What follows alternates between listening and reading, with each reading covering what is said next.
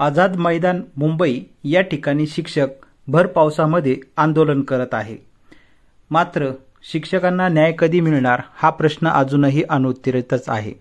महायुती सरकार हे अत्यंत गतिशील सरकार आहे अशी माहिती स्वतः महाराष्ट्राचे मुख्यमंत्री एकनाथजी शिंदे यांनी सभागृहामध्ये दिलेली आहे. कारण या आधीचं सरकार जे आहे ते कोणत्याही फाईलवरती सह्या करताना खूप विचार करायचा आणि त्यामध्ये खूप विलंब व्हायचा. मात्र आता महायुती सरकार यामध्ये अत्यंत गतिशील आहे अशी माहिती महाराष्ट्राचे मुख्यमंत्री यांनी सुद्धा दिलेली आहे. आणि त्याची प्रचिती आहे ती देखील महाराष्ट्राला आलेली आहे. अत्यंत गतिशील असं सरकार आहे मात्र शिक्षकांचाच प्रश्न अजून का मार्गी लागलेला नाही असा देखील प्रश्न आता शिक्षकांकडून विचारला जात आहे. याचं कारण देखील असंच आहे आझाद मैदान मुंबई या ठिकाणी शिक्षकांकडून गेले अनेक दिवसांपासून आंदोलन सुरू आहे मात्र अजूनही शिक्षकांचा जो टप्पावाढीचा शासन निर्णय आहे तो अजूनही मंत्रालयात अडकलेला आहे. काही विभागाकडून या शासन निर्णय निर्गमित होण्याकरता जी प्रक्रिया सुरू आहे याला आडकाठी आणण्याचा प्रयत्न हा काही विशिष्ट विभागाकडून केला जात आहे.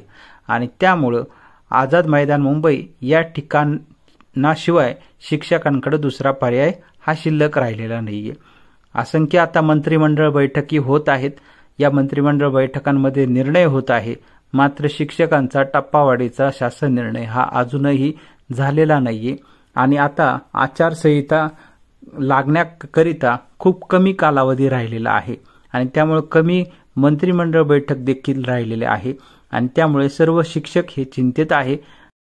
महायुती सरकार शिक्षकांना अनुदान मिळवून देईल असं कुठेतरी शिक्षकांना वाटतंय. मात्र त्याला अजूनही प्रत्यक्षात मूर्त स्वरूप आलेलं नाहीये.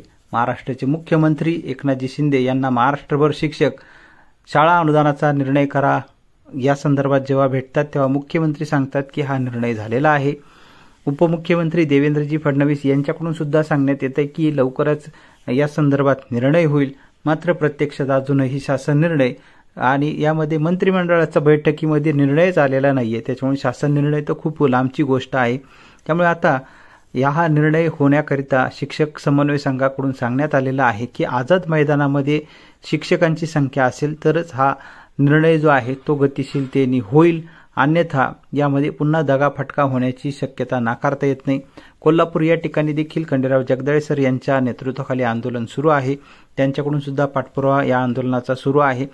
मात्र अजूनही ज्या पद्धतीने पहिला मंत्रिमंडळ बैठकीमध्ये निर्णय होणं गरजेचं आहे. त्यानंतर शासन निर्णय निर्गमित झाला पाहिजे आणि त्यानंतर जर हिवाळी अधिवेशन महायुती सरकारचं झालं तर त्यामध्ये टोकन बजेट मंजूर होणं गरजेचं आहे आणि याला खूप कमी कालावधी राहिलेला आहे. वीस ते पंचवीस वीस ते तीस दिवसच फक्त याला कालावधी राहिलेला आहे.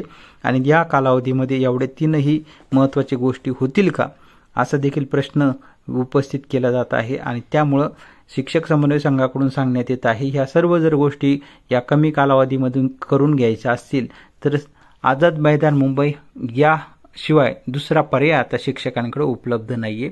मंत्रिमंडळ बैठकी होत आहे मात्र अजूनही शिक्षकांचा शाळा अनुदानाचा टप्पावाढीचा निर्णय हा अजूनही झालेला नाहीये. त्यामुळे आता महाराष्ट्रातील सर्व शिक्षकांनी सोमवारपासून असंख्य संख्येने आझाद मैदान मुंबई या ठिकाणी उपस्थित राहावं. असं आवाहन शिक्षक समन्वय संघातर्फे करण्यात आलेलं आहे.